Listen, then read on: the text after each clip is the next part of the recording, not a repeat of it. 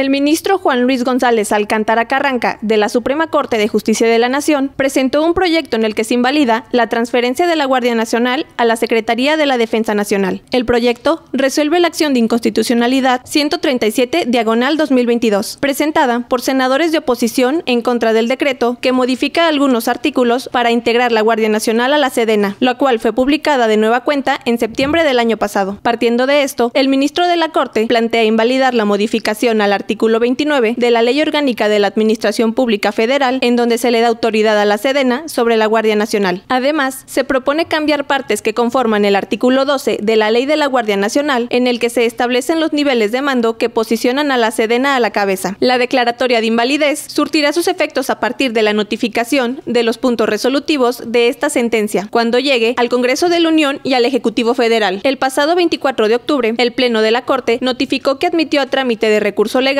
bajo el expediente 137 diagonal 2022, el cual fue puesto por los senadores de la llamada oposición. Con información de la redacción para 90 grados, Quetzali García.